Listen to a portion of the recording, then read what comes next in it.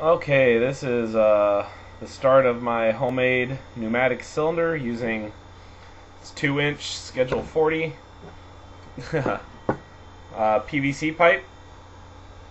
Um, it's good up to 280 psi, which should be more than enough for what I'm using this for. Uh, my ram is uh, just a half inch bolt. Uh, it's smooth all the way down except for threads at the end. Uh, my seal is made up of a 2 inch uh, round with a half inch hole uh, fender washer.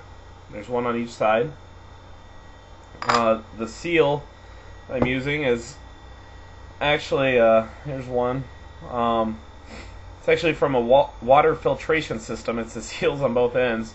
They're just slightly over two inches and it's neoprene rubber, which is really durable. Um, and it's sandwiched in between the two fender washers. You can see it uh, fits very nicely. Quick little demonstration. You can put the cap on, and when you push, so I think we're getting a pretty good seal. So I have two two-inch plastic caps. Um, I want this to be a bidirectional, uh, which means I'll be able to put pressure on on either end and push the, the rod either way. So uh, one cap is going to get a half inch hole, maybe just slightly larger, maybe by like a 64th of an inch. And then to seal that up, it's more the fender washers. Um, and then these are neoprene, basically a washer. Uh, they're about two inches round, and then the hole is just slightly under the half inch, so it fits real tightly around around that bolt shaft. And because it's a lot thinner than I don't know how well we'll see this, but it's a lot thinner than the other seal, and it's gonna that's the part that's gonna get the most dirt and uh, debris in there. So it's going to be a fender wash, a steel fender washer, a neoprene fender washer, steel fender washer, neoprene fender washer, and another steel fender washer. And uh, I'm not sure if I'm going to put that on the outside or inside of the cap yet. The outside of the cap has writing, so it's a little bit rough. Um, however, it'd be nice to have it out there just for uh, just for if there's any issues with it. Um, I'll drill, once I get this all assembled, I'll drill a couple holes and put uh, some air nipples on there and we'll see where we're at from there. Okay, I got it. Got my bolt and the, the ram in there. See the reflection of it there. Um, and I was playing around with it, pulling it out, and I noticed uh, I shaved the writing off the top of the cap because I really wanted these on the the sorry the seals on the outside.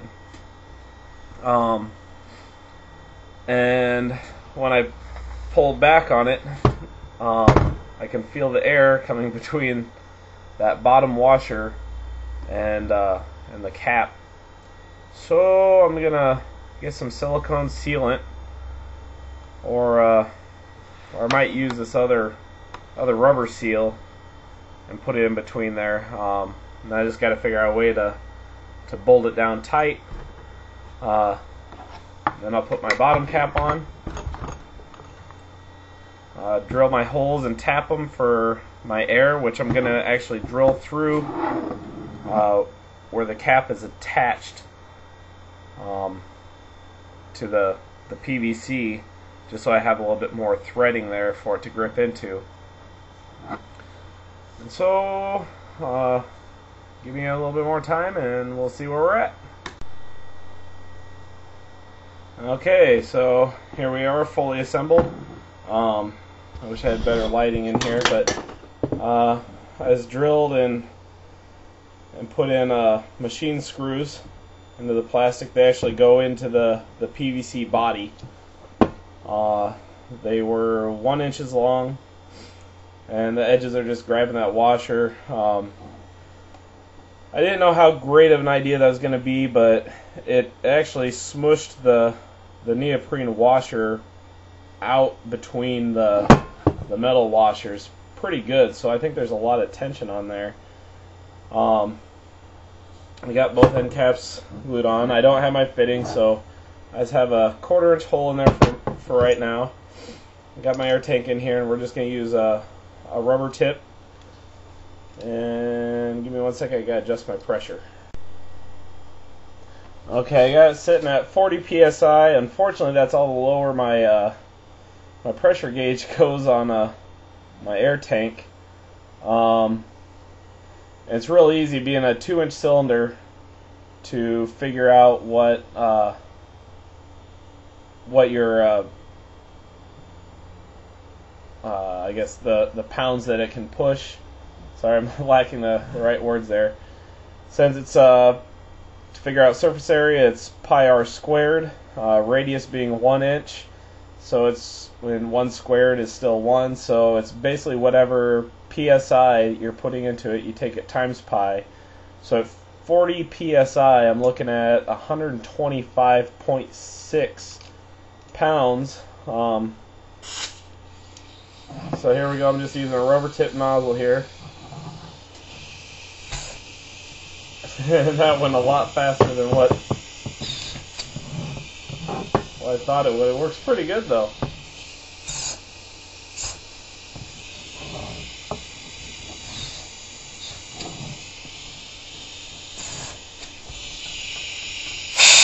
Oops.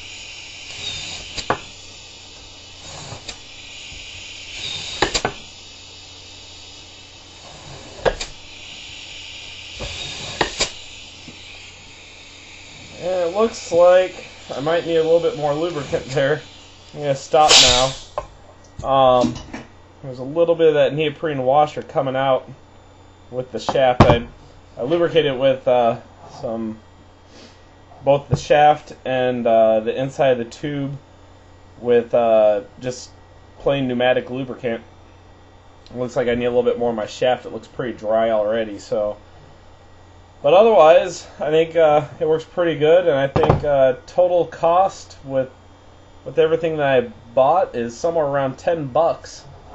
Um, you know, the fittings are probably gonna be about five dollars or whatever. So, so fifteen dollars for a cylinder that that can uh, push quite a bit of weight. Um, I wouldn't recommend doing this at home though. Uh, you're you're dealing with some pretty high forces. Um, this was just to see if I can. Don't know if I'm really going to use it for anything or if I have a purpose for it, but but there we go, my pneumatic cylinder. Thanks for watching. Subscribe to my channel.